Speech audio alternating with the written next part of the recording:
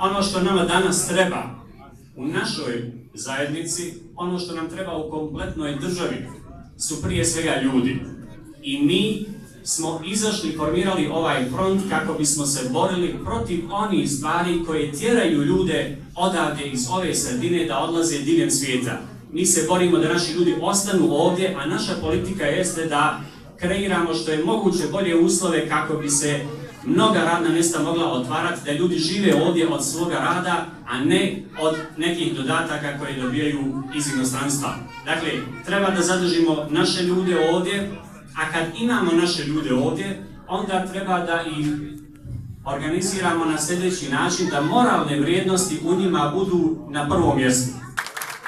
Ako su moralne vrijednosti kod svakoga od nas na visokom nivou, to će značiti da ćemo se baviti i obrazovanjem, da ćemo se usavršavati, da ćemo se truditi radimo od da živimo od svog rada, nećemo dozvoliti da svoje dostojanstvo prodajemo za vrlo jeftino nešto što je u ovom svijetu vrijedno, ali suštinski je bezvrijedno, a kad to postignemo, kad budemo imali takve ljude, takvu zajednicu, onda ćemo moći da izaberemo moralne političare koji će moći da nas sve skupa vode naprijed.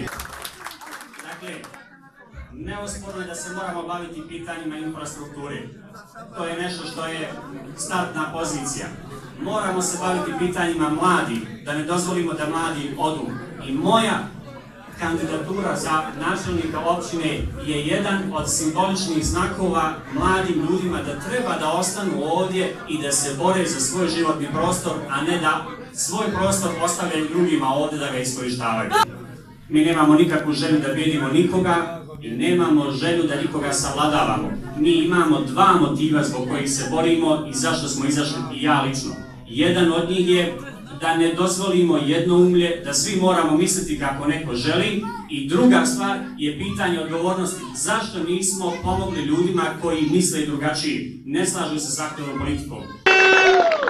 Mi živimo u jednom vrlo zanimljivom vremenu kada se granice širom svijeta otvaraju za ljude da mogu slobodno hodati, a nama se želi postaviti granica na našoj teritoriji gdje živimo. To samo postoji ovdje i nigdje u svijetu, vjerujte. Rekao sam sinoća ponovit Činjenica je da je taj prostor dole zarastao. Mi to ne sporimo, to se vidi golim okom. Ali je to dokaz da ta donacija koja je došla ovdje nije zloupotrebljena ni za jednu marku. Ona stoji i neka propadne, ali neće ni u čiji privatni džep otići. Šta nam je poručeno sa ovoga mjesta ovdje gdje smo noćas?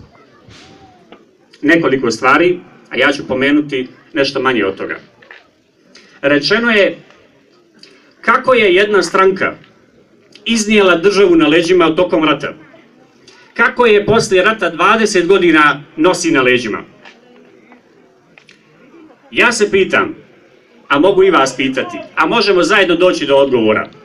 Da li to neki ljudi državu nose na leđima ili država nosi njih na leđima pa smo u ovakvom stanju kakvom jesmo danas? Nemoguće je da vam ove stvari ne darnu srce. Zato su ovi momci iznijeli svoje srce da nam pomognu zajedno ovdje.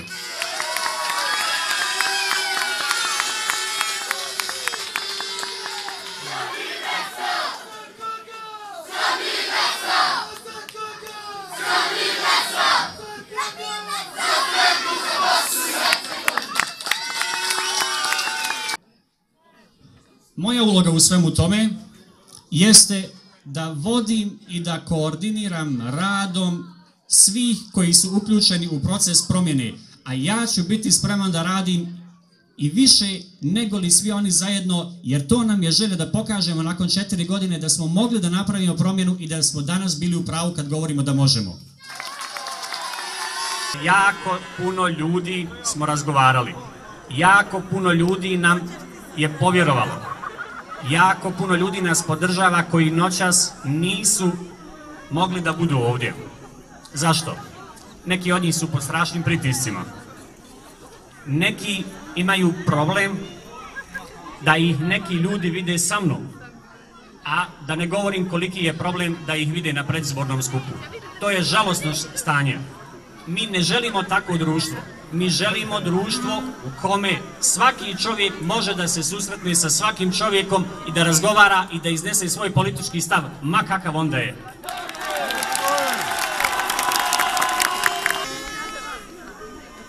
Ako se nađe, a nadam se da ćete pomoći da se to dogodi, ako se nađem u kabinetu koji pripada načelniku općine, ako to budem ja radio, budite sigurni da svi oni i koji su mi dali podršku i oni koji nisu dali podršku, bit će tretirani na isti način, bit će pravedno tretirani. To je najvažnije. Nije važno kako se ko obojio.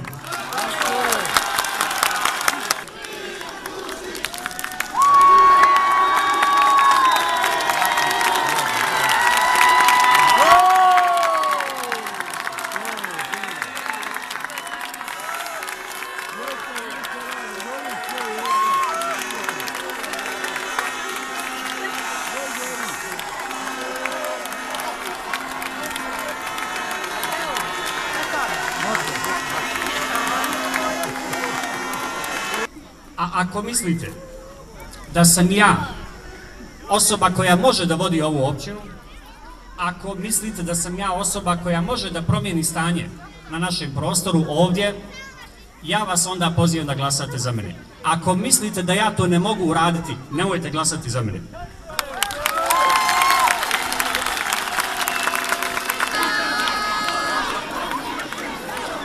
Nisam iskompleksiran ni najmanje. Ne moram u životu da se zovem ni po čemu osim po imenu. Meni je to najdraže. Dakle, ne borim se za bilo kakvu titulu, borim se da pokušamo svoje potencijale staviti na ra- raspolaganje ljudima. Ako to uspijemo, uspjeli smo. Nije uspjeh ako nas zovu po ovoj ili onoj poziciji. To u životu ne treba ništa da znači. I ja vam govorim, meni to ne znači. Najdraže me Najdraže mi je kad me zovnete imenom. I sutra, kad budem načelnik, neće mi smetati ako me ponovo budete zvali imenom. Jer to je neka jednakost među ljudima.